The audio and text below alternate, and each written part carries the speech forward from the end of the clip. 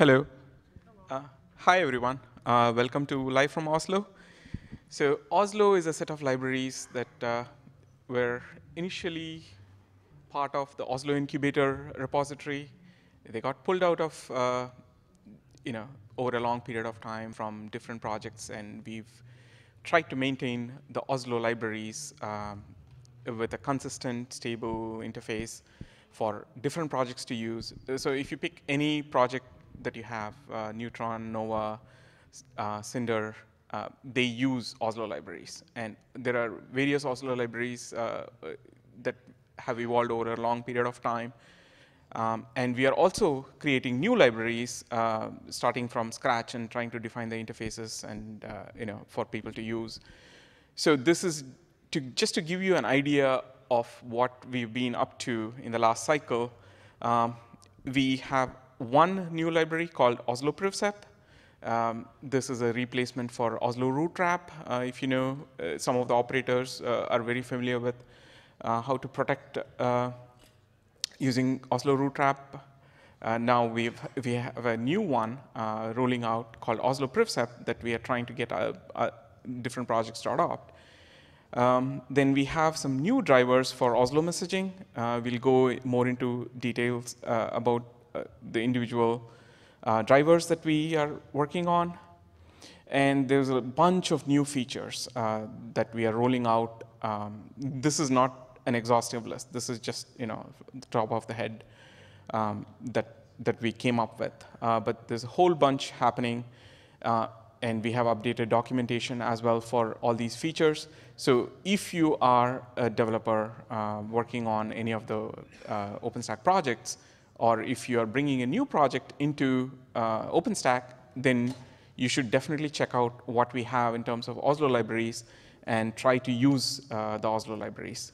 So uh, to help get us started, uh, I have a panel of team members here. Um, and if you have any questions, uh, you would have to talk to Josh. Hi. So Josh is the PTL for the upcoming release, and uh, I'm the PTL for the previous release. So I'm handing off uh, stuff to Josh as well.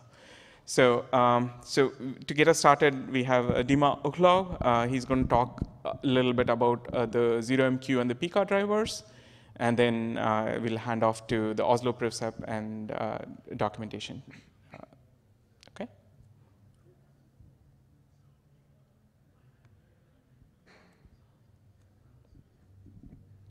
Dima? Thank you. Uh, first of all, probably uh, when we started development of uh, Pika driver, um, uh, I heard uh, a lot of questions like, um, why do you do this? We have kombu driver and why do we need another driver? Um, I will answer for these questions now. Um, we have uh, a couple of problems connected with, uh, um, we don't know with, with which one, uh, but um, somehow uh, rabbit clusters uh, can be divided for few pieces, uh, for, for some pieces. Um, uh, and we don't know what is going on because a lot of uh, uh, we have a lot of abstractions, a lot of uh, dependency libraries like uh, Oslo core, uh, Oslo kombu driver, uh, kombu itself, kombu extension for RabbitMQ, RabbitMQ itself, and um, when we um, had um, troubles with debugging these issues, we asked uh, pivotal uh, guys from Pivotals to help us. And they said uh, they recommended us to update um, libraries and company stack uh, because it's uh, probably uh, some issues are already fixed and even not if not it's much easier to fix in code which is close to upstream. And now we have new implementation. uh, based on Pika library. Uh, it's a light, lightweight um, pure Python uh, library, which is developed as RabbitMQ client and don't have any, not needed uh, for other AMQP brokers abstractions. So uh, we it's now, now we, we can implement um, more efficiently um, driver because we have full support of uh, modern RabbitMQ fe- features um, and uh, avoid uh, redundant functionality not needed for RabbitMQ. Uh, also, kombu drivers has uh, a lot of uh, legacy code and um, problem connected uh, with it. Um, we don't know why some code is needed and um, it's much uh, complicated to implement some new features or do refactoring because we don't know can we uh, remove this code or we should leave it. This driver is developed from scratch and um, it's much more easier uh, implement new features and uh, fix bugs and something like that. Um, so now we have two options, kombu driver and Pika driver. And uh, why uh, you should uh, or probably not should switch to Pika driver. The few, a few benefits of new driver. It fixes uh, a lot of uh, problem by design, by, by design uh, as I said before. For example, heartbeats, which are already implemented by Pika library. Reconnections problem, which previously um, was used from uh, kombu library, and now we have uh, our own implementation in Pika driver, in Pika driver, which we can uh, customize for our needs. Uh, it's also mm, much more configurable than kombu. It's not because it's better, but um, uh, it, it just have uh, already uh, a lot of possibility for configuration. Uh, also, I managed to uh, make it uh, mature enough. Uh, it passes uh, all Tempest scenarios. Um, and also it's uh, much more efficient, about uh, uh, 50% uh, on RPC calls, but probably it's not very significant because it's very uh, small middleware and um, uh, I guess that uh, target application will uh, eat uh, much more resources. Uh, so why should we uh, not to use Pika driver? It's not compatible to kombu driver. Um, it uses uh, different uh, naming of uh, queues, different exchanges, and different configurations. So rolling updates is not available from kombu driver to Pika driver. And if you want to make update, you need downtime, at least for now. Uh, it could utilize RabbitMQ a bit more if we made uh, performance tests when we had um, three nodes uh, RabbitMQ cluster and a lot of clients and servers. And when uh, RabbitMQ uh, was a bottleneck, uh, Pika driver uh, works uh, slower than Kombu about 10% uh, because he um, provide um, more strict delivery guarantee and and it eats more RabbitMQ resources.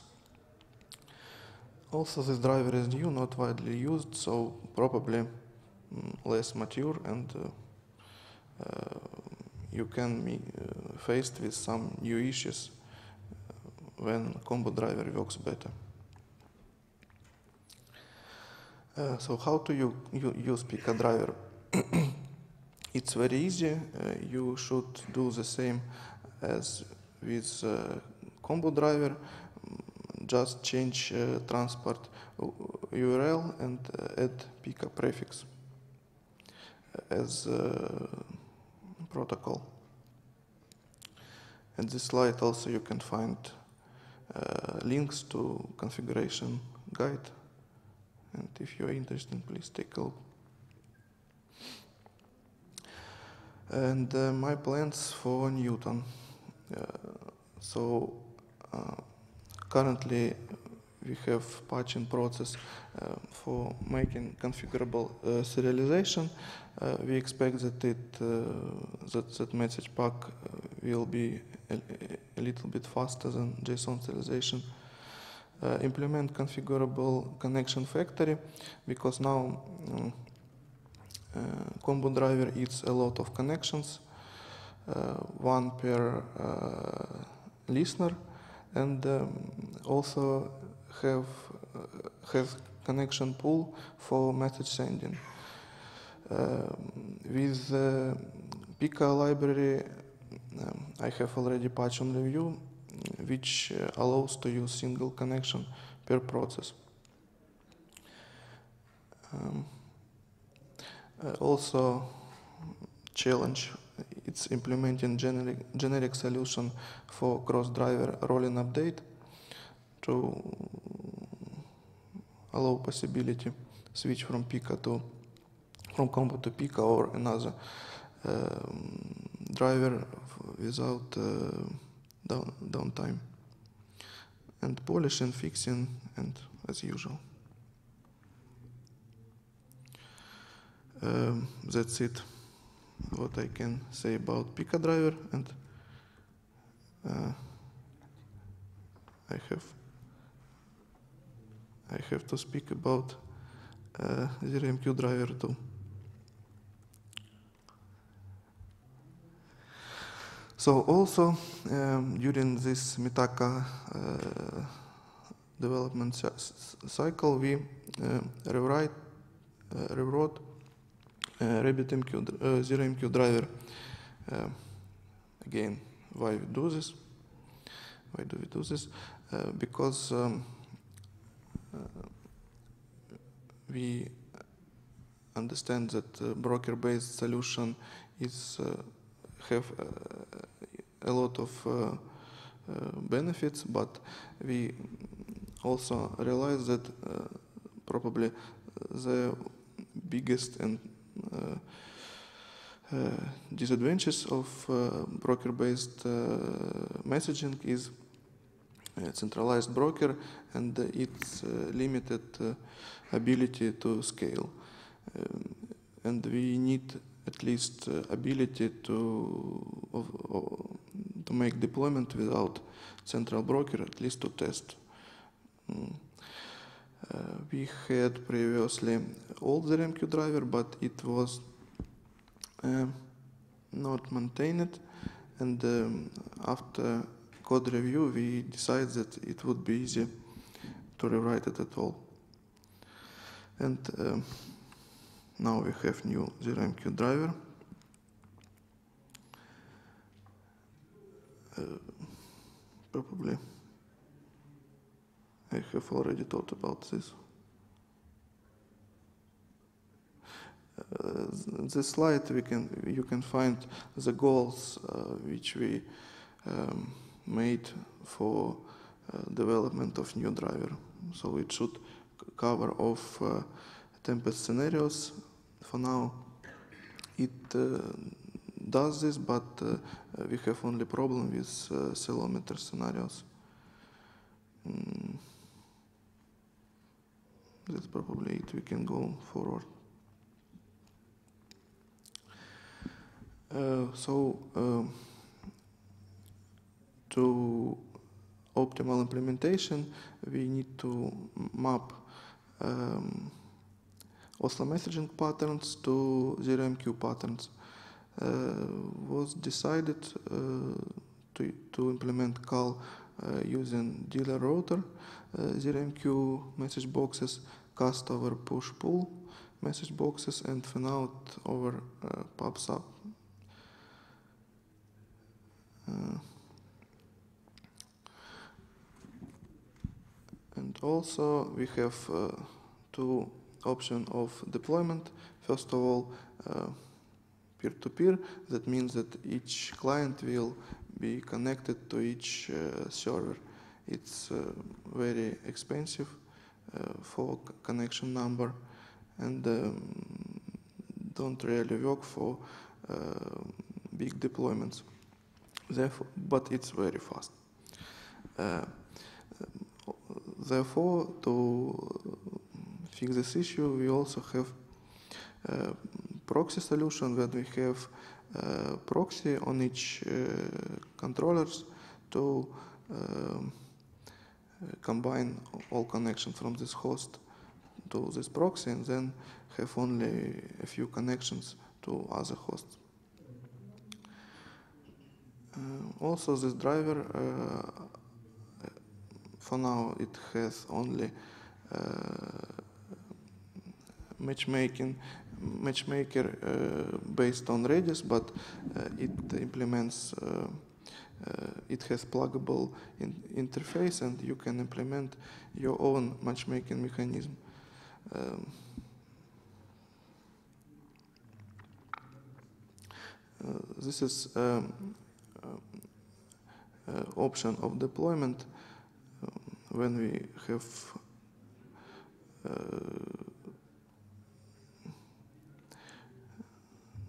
here we have um, common deployment just add Redis for each controller for matchmaker as matchmaker and uh, uh, publisher proxy for uh, cast. Uh, I will explain it a bit on the next slides. Here also we can find uh, some information about count of connections used and it's uh, actually very big. Uh, here uh, explained uh, differences between between broker-based deployment, uh, peer-to-peer deployment when each host connected to each other, and uh, um, deployment which uh, proxies I said about before. Here just some cal- calculation uh, how to estimate uh, nu- number of connection created. On this slide, um, you can uh, see um, what type of ZeroMQ sockets we are using for uh, calls and uh, di- direct casts means not fanout casts. Uh, we use uh, uh, the ZeroMQ dealer mailbox uh, for client and ZeroMQ router for service. It's mm, recommended solution, and we mm, haven't invented the wheel. Um, and on this slide, uh, you can see um, fanout uh, pattern. Um, we have always here publisher proxy uh, because mm, we can say that in 0MQ, publisher uh, implements uh, something like broker. So it handles handles messages delivery. So we um, should always have some endpoint to publish the message. Therefore, we have pub/sub pattern here between uh, service and publisher proxy and uh, ZeroMQ dealer router connection to connect clients to publisher proxy. Uh, it's uh, the same uh, graph, but uh, for uh, uh, options of deployment with proxy for calls and direct casts. Mm, almost the same, but we have one extra router proxy layer. Uh, and how to try uh, the RMQ driver. We can um, find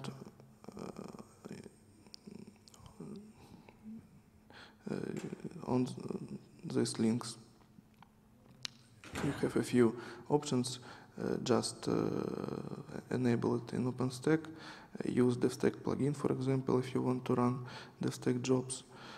run simulator just to, to test it, and probably that's it. Um, uh, known issues many socket consumption, as I said before. Uh, some issues with services recovery and uh, after restarts. Um, I don't know details, but I think it's connected with um, uh, with Redis Matchmaker um, because it's cache and so somehow it can um, contain uh, not valid data. Ceilometer doesn't doesn't doesn't uh, yet work properly. Uh, I also don't know details, but uh, I, my best guess that is because Ceilometer um, requires sending notification when anybody listen it, and this notification should be stored and processed later. uh, and uh, uh, general probably uh, disadvantages of um, ZeroMQ it's um, that messaging is not reliable. So we have in our plans to have to try implement heart beating and um, uh, retrying uh, and acknowledgement but um, for now, at least for me, it's not clear is it needed or not because it's ZeroMQ and probably if we need guarantee of delivery, probably we should use something else. Uh, plans for futures. What's interesting here? Uh, try to new transport for multicast means uh, usage uh, different uh, pro network protocol to send multicasts. It should be much more efficient. provide alternative node discovery, but I don't know who needs this, but probably why not. Mm. and may um, use uh, curve 0MQ to provide security. Probably uh, somebody requires uh, secured messaging. Uh, thank you for attention.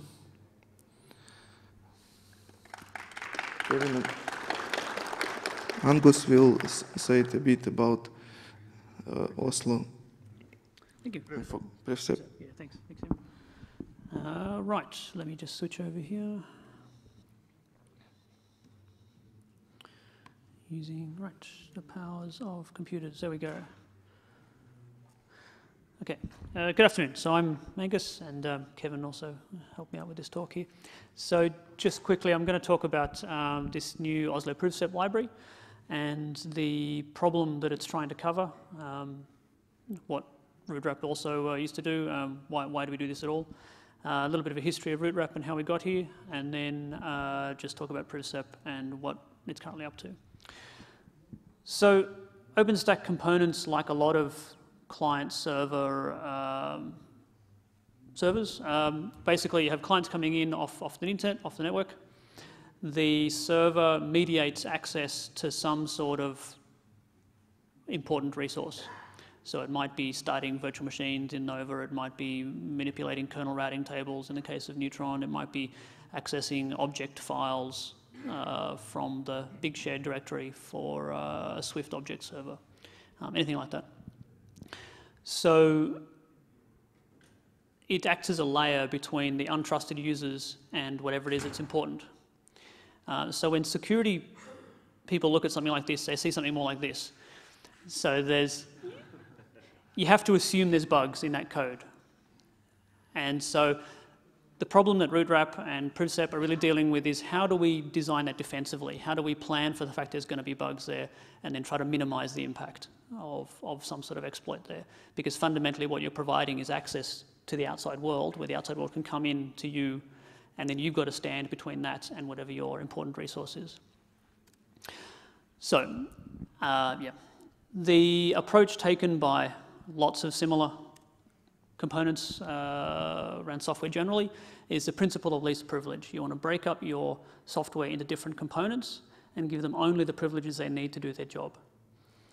Um, in an OpenStack case, typically the privileges you need are root privileges. You need to manipulate a kernel routing table. You need to manipulate uh, the, the hypervisor.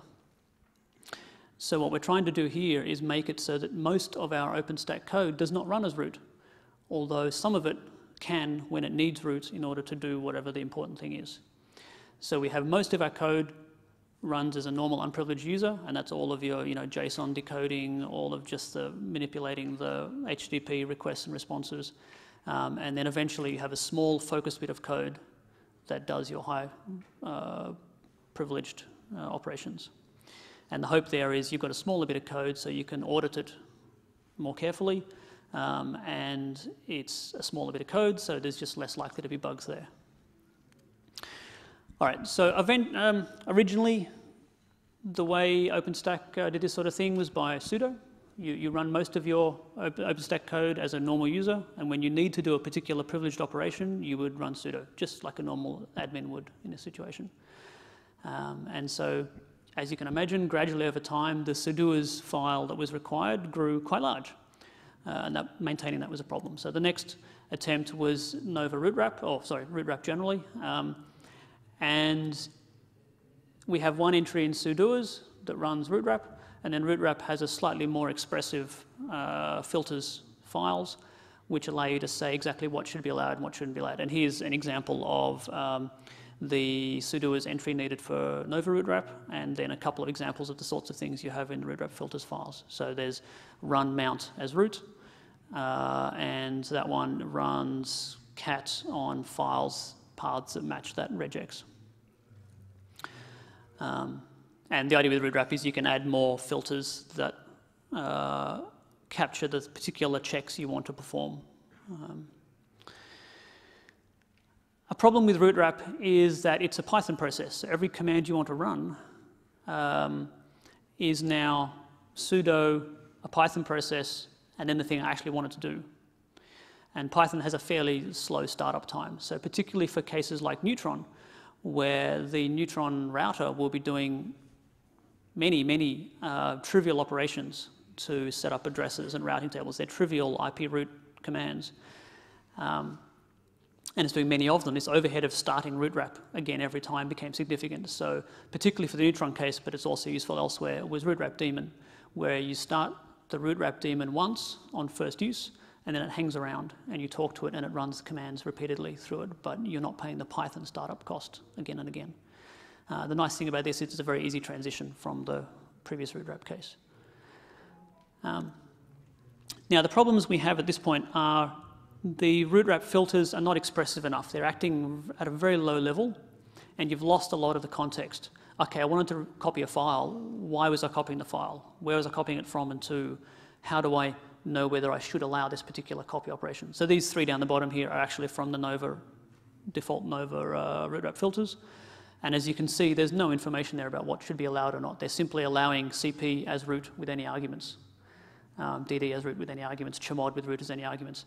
Um, and so unfortunately, even though we've got all this framework in place, I'm sure you can work out uh, how to exploit um, those three commands. Um, so uh, if, if, you did manage to break into a Nova compute server, you know, buffer overrun in the JSON decoding library or something unpleasant like that, um, you would then be running as the Nova AP, uh, the Nova compute user, and you would be able to use these rootwrap filters to fairly easily escalate to root from that point. So it's not actually giving a lot of defense. Um, the command lines are clumsy. They're, they're long and hard to generate. Uh, and if you look at the Neutron iplib file, it's 800 lines or more of code that is just there to generate and parse the output of iproute commands. Um,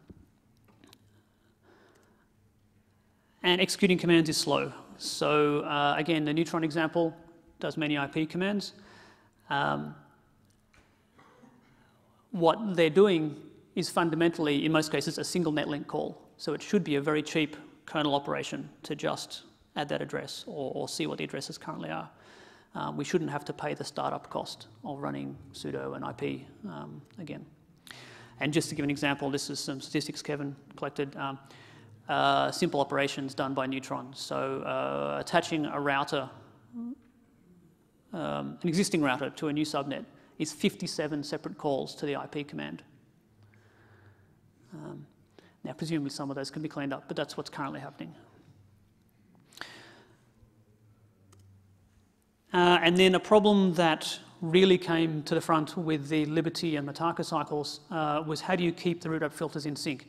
Root wrap filters are basically a duplicated copy of the commands. Somewhere in the Python code is the logic to generate that command line. And then in the root wrap filters, you basically have to have the same command line appearing to allow that command to be run by root wrap. And so keeping the code and the root wrap filters in sync becomes a real problem, um, particularly when the code is in a library like OSBrick or OS OSVIF, and yet the filters are in the end uh, project like Nova. Um, so managing those two uh, is problematic. We don't have good processes for that. We don't have good tools for that.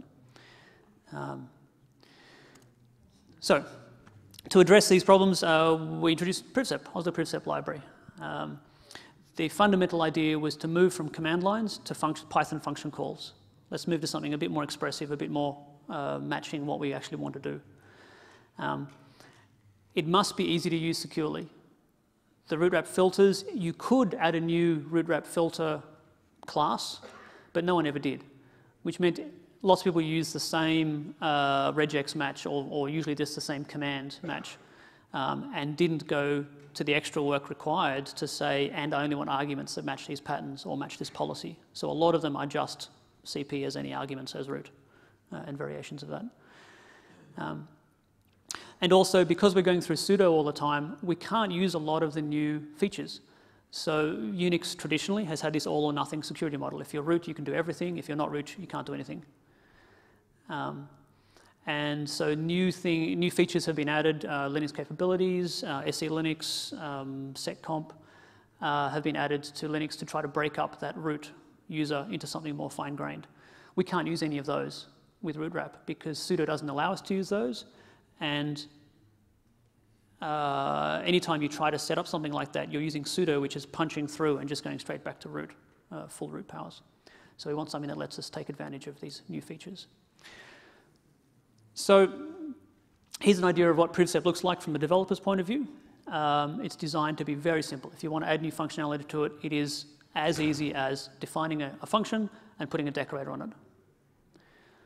Um, so on the left-hand side, we have the privileged, what will run in the privileged portion, and the, uh, on the right-hand side is the regular unprivileged code. And you can see it just looks like a function call on the right-hand side, and it just looks like a function declaration on the left-hand side. Very, very simple. Um, and then once per project, all the magic is in that decorator. So once per project, you do something like this, which just declares that decorator. Um, you don't need to worry about the details there. Basically, that's just using the, the actual Oslo PrivSep library to create a singleton object, which you then use for your decorators. Um, down the bottom here, you'll notice there's, it's setting the default capabilities. So this is the Linux capabilities. All functions called through this particular one will be run with capsysadmin, capnetadmin, and no other privileges, no other capabilities. So even if it's running as user ID zero, it still can't, for example, uh, arbitrarily change permissions on files. It can't load new kernel modules. Um, there's a whole lot of ioctls and, and, things that cannot be done through this, even though you're running as user ID zero. Um, and for most cases within OpenStack, this is a good fit because they're uh, fairly single use. You know, Neutron really just does network manipulation. Um, Cinder really just does iSCSI sort of you know file system volume operations, mounting, unmounting. Um, Nova is a bit more complicated because it um, has a bit of everything. Uh, but even for the Nova case, we can have more than one of these contexts which have different privileges for each one. All right, so PrivSep works by having a, a, it spins off a helper process. And the helper process runs sort of like root wrap daemon does as a persistent process with privileges. And there's a simple Unix socket between the unprivileged, the, the regular process, and this helper process. And then it's passing the function I want to run and the arguments. The helper side verifies that that's okay. Yes, it's declared properly. Yes, it had the right decorator. Yes, it was meant to run. Uh, it runs the function, returns the result, or, or, an exception object if, if one of those happened back across the socket. It's very, very simple. And sockets reused every, every time. Um, uh, just to give you an idea, uh, avoiding the root wrap overhead, uh, sorry, avoiding the exec overhead again and again, this is, was about 20 times faster on my original benchmarks compared to root wrap daemon. Uh, since I've lost a little bit of speed since then in some um, uh, multi-threading locking and stuff, but I know where those problems are, so I need to go and re regain some of that speed. Um, but that's the sorts of advantages that are available here. Uh, so from the operator's point of view, um, when you look at the process table, you'll see the extra helper process running.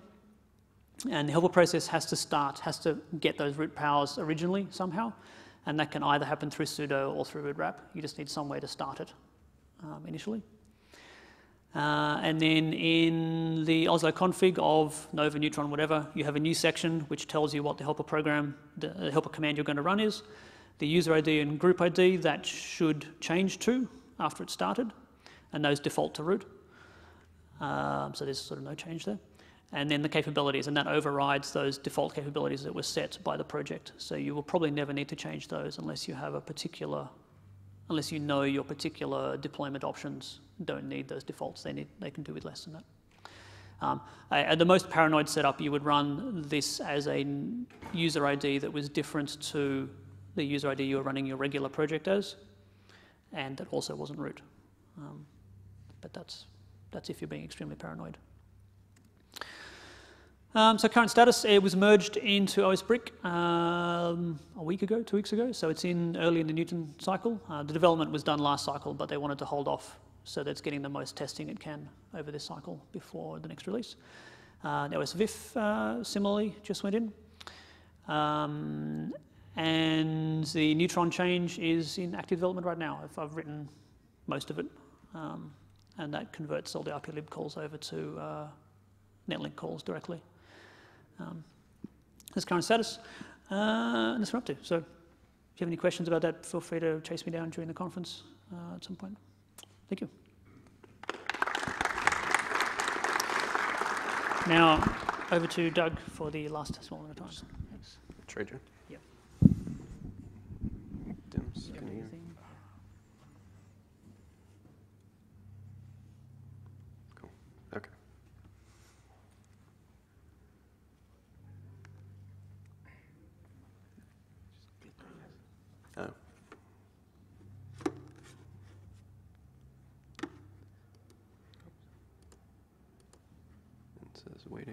Presenter.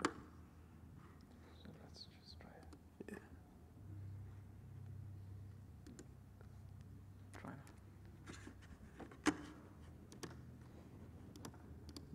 Nope.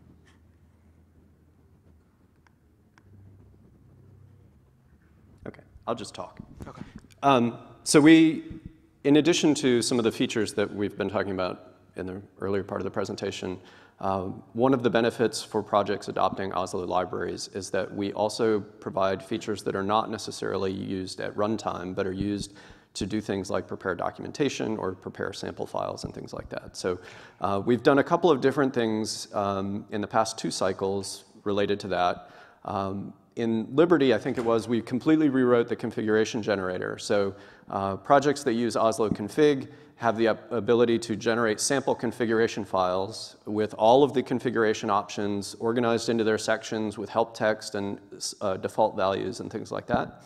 We rewrote the way that project works so that um, we uh, basically to make it more robust and to make it so that the generated output is uh, a little bit easier to manage. Um, so now you actually have the ability to, for example, generate a different sample configuration file for each uh, daemon that you produce within your project. So uh, Nova has three or four or five, I don't know how many different daemons they're running these days. Um, each one could have a separate configuration sample file for only the options that actually apply to that thing. Um, as part of that, um, oh, you got it. Yep. Okay, cool. I'll, I'll run it. You can Okay. talk. Um, so as part of that, uh, the, the output itself is the same format, but the inputs are a little bit different, and you can do a little bit more with it. Um, so next, uh, next. Um, we also extended that so that in addition to generating a sample configuration file, we can generate reference documentation for the options in a little bit more easy to read format. So you get a nice table. and you flip over to the next, uh, one more. Um, yeah, nope. Sorry, this, this is the integration to actually embed the, the config file in the documentation. Keep going. We don't have time to cover all of this. Okay, so you get a table, you get all your configuration options. They're organized by the groups where they would need to appear in the configuration file. Um, you get uh, bold text and things like that, which you can't really do in a plain text file. Um, this is sort of proof of concept work right now at this point. So we've integrated this into a few of the different uh, project's developers documentation, and we're going to be working with the do uh, documentation team this cycle to see how we can use it for their configuration manual so that we can pull all of the configuration options in automatically as they get changed in different projects. All right.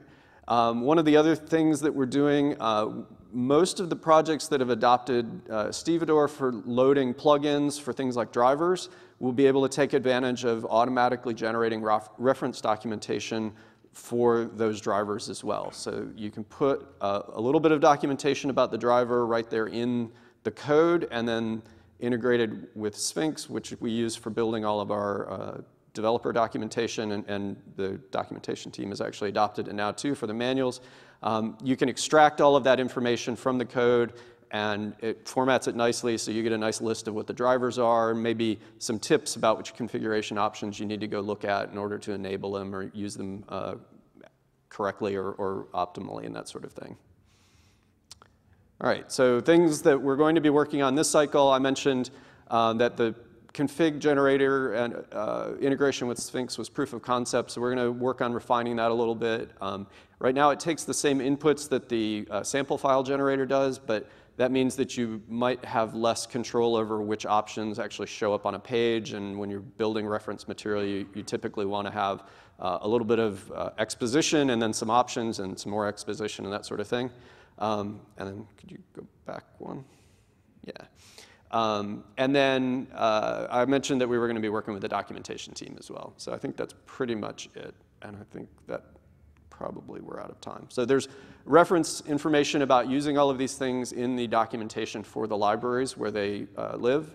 Um, oh, and we're probably also going to be looking at generating sample policy files as well uh, with the work that's going on in the policy library. Right. Thanks a lot. Thank uh, you.